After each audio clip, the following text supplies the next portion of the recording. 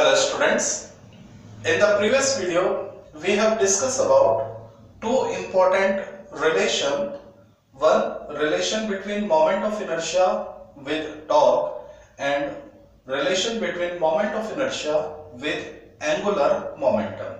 Now in this video, we are going to study about a term known as radius of gyration. Radius of gyration which is denoted by the term capital K. अब इसको actually radius of gyration क्या है? ये बहुत ही easy है। बस आप थोड़ा सा ध्यान देंगे। समझिए इस चीज़ को। Dear student suppose we have a body ये हमारे पास एक बॉडी है, जिसका मास एम है। We have a body of mass m और इस बॉडी का ये है एक सेंटर हर बॉडी का कुछ ना कुछ क्या होता है? सेंटर होता है। तो ये हमारे पास m मास की बॉडी और ये इस बॉडी का सेंटर और इस सेंटर से मान लीजिए ये कोई लाइन पास होती है। This is the line passing through the centre of this body okay तो ये जो है O मान लीजिए ओ, और ओ क्या है? सेंटर ऑफ़ बॉडी ठीक है? तो ये जो ओ है बॉडी का सेंटर इससे कोई लाइन पास होती है। और ये जो बॉडी है, ये रोटेट करती है। मान लीजिए दिस बॉडी इज़ रोटेटिंग ये जो बॉडी है, ये रोटेट कर रही है इस लाइन के अबाउट तो ये लाइन क्या कहलाएगा? This is called axis of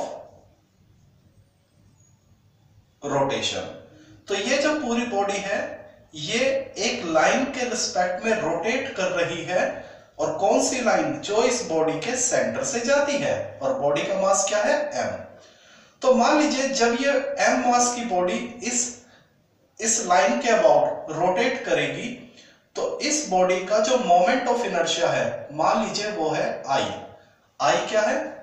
Moment of inertia moment of inertia. Moment of inertia क्या है? This thing we have already discussed in the previous videos. Okay?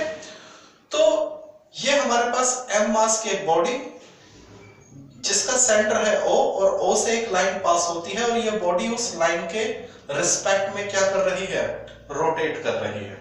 Agree चलिए. अब हम क्या करते हैं? Now we have consider a particle अब हम क्या करते हैं? एक पार्टिकल कंसीडर करते हैं। लेट कंसीडर अ पार्टिकल ये हमारा एक पार्टिकल और इस पार्टिकल का मास वही है जो इस बॉडी का है। मान लीजिए इस बॉडी का मास है 10 ग्राम तो इस पार्टिकल का मास भी क्या है? 10 ग्राम इस बॉडी का मास क्या है? 5 ग्राम तो इस पार्टिकल का मास भी क्या है? 5 ग्राम यानी जो इस बॉडी का मास है, वही इस पार्टिकल का क्या है? मास ओके चलिए। अब हमने क्या किया? ये हमारी एक लाइन हमने क्या कर लिया? एक लाइन कंसीडर कर लिया। और ये जो पार्टिकल है, ये इस पार्टिकल की इस लाइन से कुछ ना कुछ क्या होगी? डिस्टेंस होगी। ये जो मेरा पार्टिकल है, उसकी इस लाइन से क्या होगी? कुछ ना कुछ डिस्टेंस और ये पार्टिकल क्या कर रहा है? This particle is rotating around this line ये पार्टिकल इस लाइन के चारों तरफ़ घूम रहा है। तो ये लाइन इसके, इस पार्टिकल के लिए क्या कहलाएगी?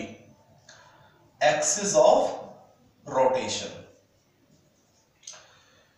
ये जो पार्टिकल है, मान लीजिए मैं इसको बोल देता हूँ, नाम देता हूँ ए बी और इसको नाम दे देता हूँ एक्स वाई तो जो ए बी है, वो इस बॉडी के लिए एक्सिस ऑफ़ रोटेशन है और एक्स वाई इस पार्टिकल के लिए क्या है? एक्सिस ऑफ़ रोटेशन अब हमने कहा, इस पार्टिकल का मास वही है जो इस बॉडी का मास है और ये जो पार्टिकल है एक्स वाई के अबाउट घूम रहा है और पार्टिकल की इस लाइन से कितने डिस्टेंस है? एक्स डिस्टेंस है ओके चलिए, लेकिन मैं ये कहता हूँ, ये जो पार्टिकल जब इस लाइन के अबाउट घूमता है तो इस पार्टिकल का मोमेंट ऑफ़ इनर्शिया वही होता है जो इस बॉडी का है ए बी के about the moment of inertia of this particle about X Y is same as the moment of inertia of this body about A B क्या बात समझ में आ गई? ये है moment of inertia of body about A B और मैं कहता हूँ, ये क्या है? Moment of inertia of dear students I क्या है? Moment of inertia of particle about X Y तो मैं इसको ले लेता हूँ आई वन और इसको ले लेता हूँ आई टू तो ध्यान देना if I one is equal to I two अगर बॉडी का moment of inertia A B के अबाउट और इस पार्टिकल का moment of inertia X Y के अबाउट सेम हो जाए, ध्यान देना, जो मास बॉडी का है, वही मास पार्टिकल का है। तो अगर I one is equal to I two then ये जो डिस्टेंस के है, वो इस बॉडी के लिए रेडियस ऑफ़ जायरेशन कहलाएगा। Then K is K is radius of gyration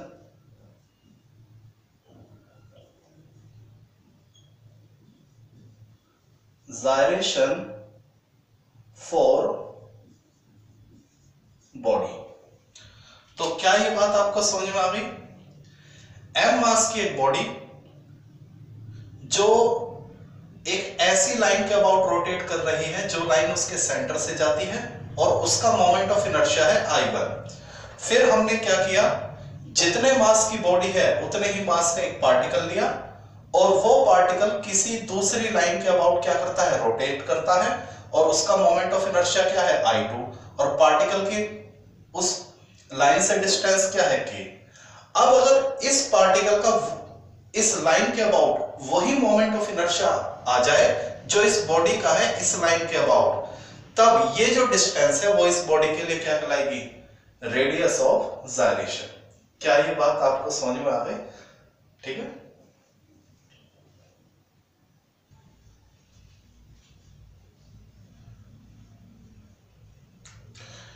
यहाँ हम इसमें एक बात और ध्यान दीजिएगा। मोमेंट ऑफ़ इनर्शिया को रेडियस ऑफ़ जायरेशन के टर्म में कैसे लिखते हैं, ये ध्यान देना। Moment of inertia is equal to mass into K square इस चीज़ का आप ध्यान रखेंगे। वैसे ये कोई, बस एक्चुअली क्या है, इस टॉपिक की इंपॉर्टेंस ये है कि ये टॉपिक हमारे आने वाले टॉपिक्स में काफ़ी यूज़ होने वाला है। इसलिए इस चीज़ को समझना काफ़ी ज़रूरी है, ठीक है? अदरवाइज़ कभी सेपरेट ऐसा कोई क्वेश्चन नहीं बनता कि रेडियस ऑफ़ जायरेशन क्या है, ठीक है ना? लेकिन इसकी सेंस क्लियर होनी आपको बहुत ज़रूरी है। तो moment of inertia in term of radius of gyration I is equal to M K square ये आपको क्लियर होनी चाहिए बात, ठीक है? तो let's move on the next topic तो अगला टॉपिक करते हैं।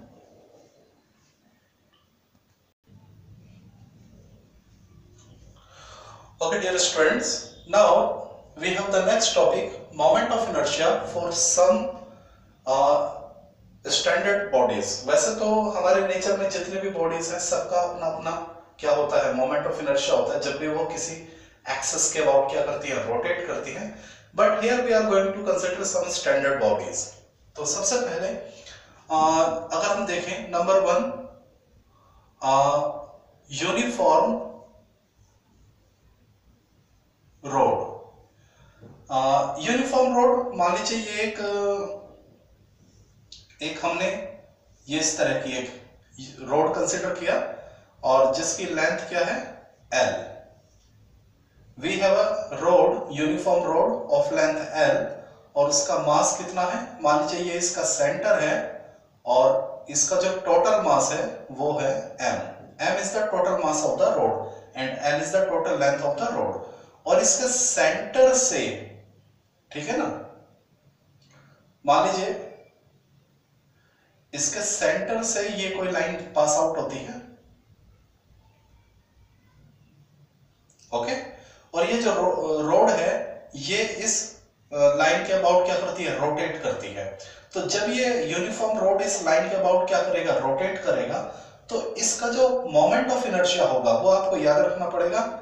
I is equal to M L square over twelve ठीक है? A uniform rod of mass m length l rotating about a line passing through the centre तो उसका जो moment of inertia होगा, वो क्या होगा? M L square by two क्या ये बात समझा भाई ओके अभी थोड़ी देर पहले हमने पढ़ा था रेडियस ऑफ़ जायरेशन तो ये आप याद रखेंगे। क्लियर अब अगर हम इसको कंपेयर करें इसके रेडियस ऑफ़ जायरेशन से तो देखिए आई का फॉर्मूला क्या था? I is equal to M K square तो जरा ध्यान देना। यहाँ आई की वैल्यू क्या है? M L M L square by twelve यहाँ आई की वैल्यू क्या है? एम के स्क्वायर तो एन से एम कट जाएगा। क्लियर हो गया? तो यहाँ से के की वैल्यू क्या आ जाएगी? एल अपॉन रूट ट्वेल्व देख लीजिए। तो यूनिफॉर्म रोड का मोमेंट ऑफ़ इनर्शिया क्या होता है? M L square by twelve और अगर आपसे यूनिफॉर्म रोड के लिए रेडियस ऑफ़ जायरेशन पूछ लिया जाए तो वो कितना होता है? K is equal to L over twelve clear हो गया? चलिए। एक और देखते हैं। नेक्स्ट अगर हम बात करें रिंग की किसकी बात करते हैं? रिंग रिंग क्या होता है? रिंग एक, देखिए, अगर मान लीजिए हम बात करें ये ये पूरा मटेरियल है। ये पूरा क्या है? मटेरियल तो ये डिस्क बन जाएगा। ये क्या बन जाएगा? डिस्क हम अगला टर्म डिस्क का ही लेंगे। देखिए, ये हमारा हो जाएगा। तीसरा जो बॉडी है वो डिस्क का ही लेने वाले हैं। ये है हमारा डिस्क डिस्क यानी प्लेट, आप जानते हैं, ठीक है? तो आप कहोगे, ये तो डिस्क है, ये डिस्क, ये रिंग कैसे बनेगा? तो अगर हम डिस्क में से अंदर का मटेरियल हटा दें, डिस्क में से बीच का मटेरियल क्या कर दें? हटा दें।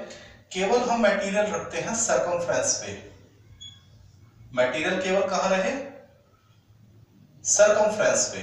ठीक है? तो ये क्या बन जाता है? रिंग बन जाता है। समझे बात अभी तो मान लीजिए ये हमारे पास रिंग, जिसकी रेडियस कितनी है आर और उसका मास कितना है एम क्लियर हो गया? ये हमारे पास डिस्क इसका रेडियस भी कितना है आर और मास कितना है एम फिर ये इसका सेंटर ये इसका सेंटर हमने एक लाइन कंसिडर किया। ओके और ये रिंग इस लाइन के अबाउट क्या करता है? रोटेट करेगा। ठीक है? तब इस रिंग का मोमेंट ऑफ़ इनर्शिया क्या होगा? तो रिंग का जो मोमेंट ऑफ़ इनर्शिया होता है, उस लाइन के अबाउट जो इसके सेंटर से पास होती है, वो होता है एम आर स्क्वायर क्या बात समझ में और जो डिस्क का मोमेंट ऑफ़ इनर्शिया होता है, ऐसी लाइन के अबाउट जो उसके सेंटर से पास होती है, जब ये डिस्क सेंटर से जाने वाली लाइन के अबाउट घूमेगा तो इसका मोमेंट ऑफ़ इनर्शिया होगा M R square by two. ये याद रखेंगे, रिंग के लिए M R M R square और इसके लिए M R square by two. क्या ये बात समझ में आ गई? Moment of inertia of ring, M R square, और डिस्क के लिए क्या होगा? M R square by two. किस लाइन के अबाउट? उस लाइन के अबाउट जो इनके सेंटर से पास होती है। चलिए, अब चलो दोनों का रेडियस ऑफ़ जायरेशन भी ढूंढ लेते हैं। चलिए। तो आई की वैल्यू क्या होती है? एम के स्क्वायर बताया था रेडियस ऑफ़ जायरेशन के लिए मोमेंट ऑफ़ इनर्शिया कैसे लिखा जाएगा? I equal to M K square तो यहाँ भी I is equal to M K square I बराबर M R square I is equal to M K square तो M K square is equal to M R square ये दोनों आपस में बराबर हो जाएँगे। ऐसे यहाँ पे M K square is equal to M R square by two M से एम कैंसिल आउट तो के की वैल्यू क्या आ जाएगी? आर तो रिंग के लिए जो रेडियस ऑफ़ जायरेशन होता है, वो किसके बराबर होता है? आर के बराबर होता है। और डिस्क के लिए एम से एम कैंसिल आउट के की वैल्यू क्या हो जाएगी? आर अपॉन रोट टू क्या ये बात समझ आ गई? इज़ दैट क्लियर चलिए। अगर कई बार ये पूछ लिया जाता है अगर हम इससे आपके लिए के अपॉन आर का रेशो पूछ लें रिंग के लिए के के अपॉन आर तो उसका रेशो क्या आएगा? वन ही तो आएगा, प्यारे बच्चों। और अगर हम इसके लिए पूछ लें के अपॉन आर का रेशो कितना आएगा? वन अपॉन रूट टू क्या बात समझ आ गई तो ये सारी चीज़ें आगे चल के हमारे काफ़ी काम आने वाली है। हर बॉडी का मोमेंट ऑफ़ इनर्शिया आपको पता होना चाहिए। फिर हर बॉडी के लिए रेडियस ऑफ़ जायरेशन पता होनी चाहिए। अगर आपको मोमेंट ऑफ़ इनर्शिया याद है हर बॉडी का तो रेडियस ऑफ़ जायरेशन तो इजीली निकल जाएगा। मोमेंट ऑफ़ इनर्शिया को किसके बराबर लेके चलना है? एम के स्क्वायर के बराबर लेके चलना है। के की वैल्यू आ जाएगी। और फिर आप रेडियस ऑफ़ जायरेशन और रेडियस का भी क्या निकाल सकते हो? रेशियो फाइंड आउट कर सकते हैं। क्या ये बात समझ में आ गई? चलिए, बाकी और बॉडीज देख लेते हैं। Let consider some more bodies okay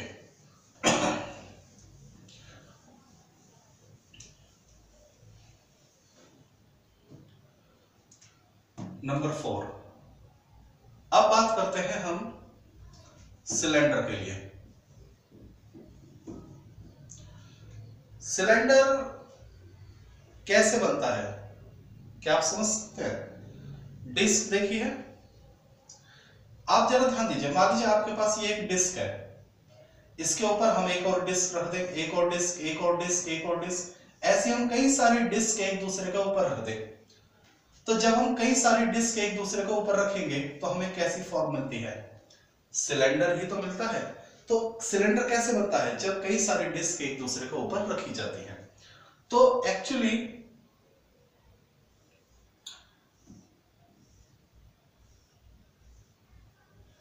ये हमारा एक सिलेंडर और ये इसके सेंटर से जाने वाली लाइन सिलेंडर का रेडियस आर और इसका मास एम तो जब ये सिलेंडर इस लाइन के अबाउट घूमेगा तो इसका मोमेंट ऑफ़ इनर्शिया क्या आएगा? तो प्यारे बच्चों, बहुत ही आसान तरीका है। क्योंकि सिलेंडर किससे मिलकर बना है? सिलेंडर क्या है? सिलेंडर क्या होता है? Combination of disc. कई सारी डिस्क एक दूसरे को ऊपर रख दी जाती हैं तो क्या बन जाता है? एक सिलेंडर बन जाता है। तो एक्चुअली अगर आपको यह बात रहेगी कि जब हम कई सारे डिस्क एक दूसरे के ऊपर रख देते हैं तो एक सिलेंडर बनता है यानी सिलेंडर का वही मोमेंट ऑफ़ इनर्शिया होगा जो डिस्क का होगा। M R square by two clear हो गया और जब सिलेंडर का मोमेंट ऑफ़ इनर्शिया सेम है तो इसके लिए रेडियस ऑफ़ जायरेशन भी क्या आएगा? सेम कैसे? आ, क्या सिखाया था? I is equal to M K square बराबर लेकर चलो, दोनों का इक्वल ले लो। तो M K square is equal to M R square by two same result आएगा। तो के कितना हो जाएगा? आर बाय रूट टू और यहाँ से के अपॉन आर क्या आ जाएगा? वन अपॉन रूट टू तो सिलेंडर के आंसर वही होते हैं जो डिस्क के आंसर होते हैं। अगर आपको डिस्क के आंसर याद है तो सिलेंडर के आंसर आपको इजीली याद हो जाएँगे। तो देखिए हम वन बाय वन अलग अलग बॉडीज कर रहे हैं और हर बॉडी सभी बॉडीज के लिए हम क्या फाइंड आउट कर रहे हैं? जरा समझ लीजिए, मैंने आपको बताया है। एक तो सभी बॉडीज का मोमेंट ऑफ़ इनर्शिया आपको डायरेक्टली याद होना चाहिए। सभी बॉडीज का मोमेंट ऑफ़ इनर्शिया आपको डायरेक्टली याद होना चाहिए। किसके अबाउट एक ऐसी लाइन के अबाउट जो उसके सेंटर से जाती है। दूसरा, जब आपको मोमेंट ऑफ़ इनर्शिया याद रहेगा तो आप मोमेंट ऑफ़ इनर्शिया को किसके बराबर लेकर चलेंगे? एम के स्क्वायर के बराबर लेकर चलेंगे। मोमेंट ऑफ़ इनर्शिया को किसके बराबर लेंगे? एम के स्क्वायर के। तो आपकी किसकी वैल्यू आ जाएगी?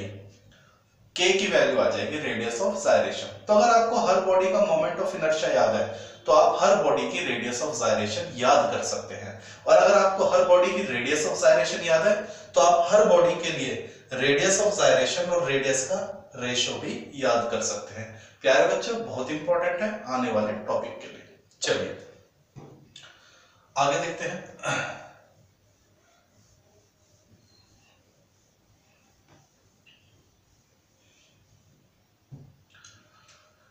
नेक्स्ट हम बात करते हैं सॉलिड स्पेयर के लिए। सॉलिड स्पेयर यह हमारा स्पेयर हो गया और कैसा है? सॉलिड है। तो इसका कुछ ना कुछ क्या होगा? रेडियस होगा। कुछ ना कुछ इसका मास होगा। ये इसका सेंटर और ये है सेंटर से जाने वाली लाइन तो ये हमारे पास एक सॉलिड स्पेयर है जिसका टोटल मास m है रेडियस r है और इसके सेंटर से जाने वाली लाइन ये है। तो सेंटर से जाने वाली लाइन के अबाउट इसका जो मोमेंट ऑफ़ इनर्शिया होगा, वो होगा two upon five M R square. याद रखेंगे, किसी भी सॉलिड स्पेयर का मोमेंट ऑफ़ इनर्शिया, उसके सेंटर से जाने वाली लाइन के about two by five M R square होता है। और अगर आपसे सॉलिड स्पेयर का रेडियस ऑफ़ जायरेशन पूछे तो तरीका आपको मालूम है, मोमेंट ऑफ़ इनर्शिया किसके बराबर लेके चलना है? एम के स्क्वायर के। तो ये दोनों आपस में बराबर हो जाएँगे।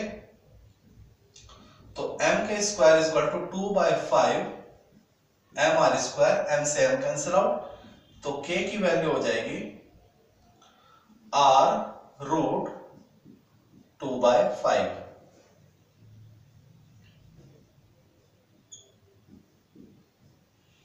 क्या बात समझ में आ गई? और अगर आप this is the radius of gyration for solid sphere अगर आपसे के अपॉन आर की वैल्यू पूछ ले तो वो कितनी हो जाएगी? टू बाई फाइव ओके चलिए, एक और बॉडी डिस्कस करते हैं।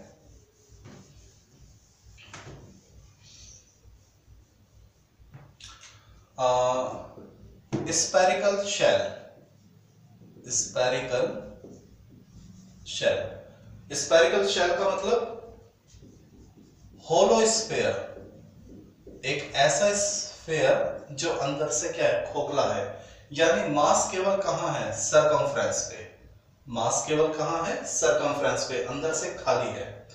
तो एक होलो स्पेयर जिसका रेडियस आर मास एम ये सेंटर है और सेंट ये है सेंटर से जाने वाली लाइन तो सेंटर से जाने वाली लाइन के अबाउट इस स्पेयर का जो मोमेंट ऑफ़ इनर्शिया होगा I is equal to two by three M R square आप याद रखेंगे? सॉलिड स्पेयर के लिए two by five M R square और होलो स्पेयर के लिए, होलो स्पेयर कहें या स्पेरिकल शेयर करें two by three M R square. Clear हो गया? और अगर इसका रेडियस ऑफ़ जायरेशन निकालना है तो आई को किसके बराबर लेके चलते हैं? एम के स्क्वायर के।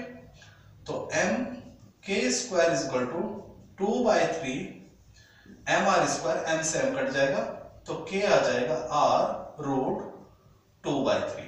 This is the radius of gyration for hollow square और अगर के अपॉन आर की वैल्यू फाइंड आउट करनी पड़े तो रूट टू बाई थ्री तो प्यारे बच्चों ये हमने आ, कुछ बॉडी डिस्कस करी। तो मैंने आपको बताया आप सभी को ये जितने भी कुछ हमारी इंपॉर्टेंट बॉडीज हैं सिक्स हर बॉडी का मोमेंट ऑफ़ इनर्शिया डायरेक्ट याद होना चाहिए किसके अबाउट एक ऐसी लाइन के अबाउट जो उनके सेंटर से जाती है। तो जब आपको मोमेंट ऑफ़ इनर्शिया याद रहेगा तो आप इजिली हर बॉडी का radius of gyration find out कर सकते हैं। या और जब आपको radius of gyration find out हो जाएगा तो आप आ, कई बार एग्ज़ाम में के अपॉन आर पूछ लिया जाता है किसी भी बॉडी के लिए। ठीक है? चलिए।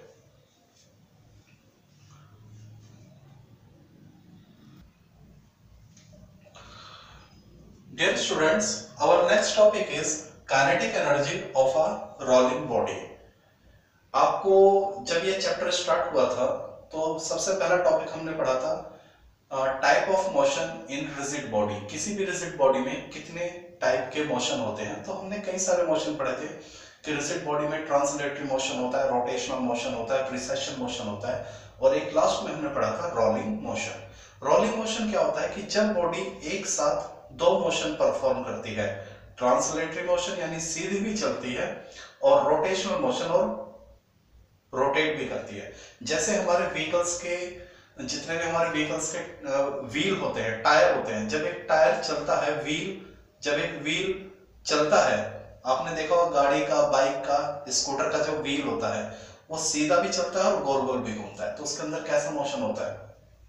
रोलिंग मोशन होता है। तो हमसे पूछा गया है कि जब कोई बॉडी रोल करती है तो उसके अंदर क्या काइनेटिक एनर्जी होती है? तो देख लीजिए।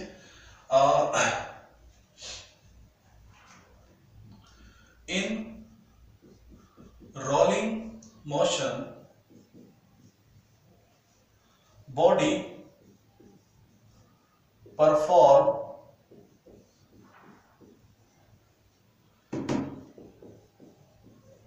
trans lateral motion and rotational motion at the same time यानी जब कोई बॉडी रोल करती है तो एक ही समय में दो मोशन करती है ट्रांसलेटरी मोशन भी और रोटेशनल मोशन भी। तो यानी बॉडी के अंदर दो तरह की काइनेटिक एनर्जी होती है translatory kinetic energy and rotational kinetic energy तो हम ये कहेंगे काइनेटिक एनर्जी किसकी? रोलिंग की।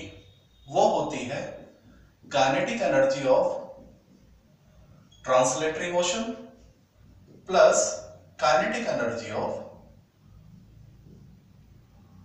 rotation चूँकि बॉडी सीधा भी चल रही है और रोटेट भी कर रही है तो उसके पास दो काइनेटिक एनर्जी होगी। सीधे चलते वक्त और गोल गोल घूमते वक्त।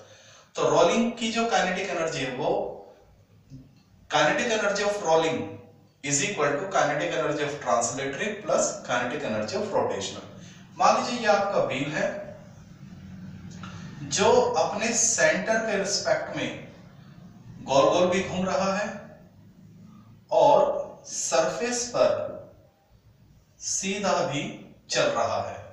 ये कोई व्हील है जो अपने सेंटर के रिस्पेक्ट में?